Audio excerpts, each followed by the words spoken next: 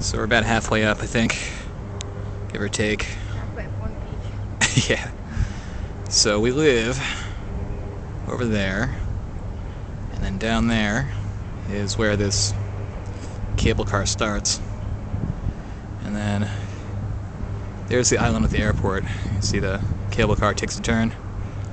And uh, goes all the way up. There. So that's not far, but we still have to go all the way up there.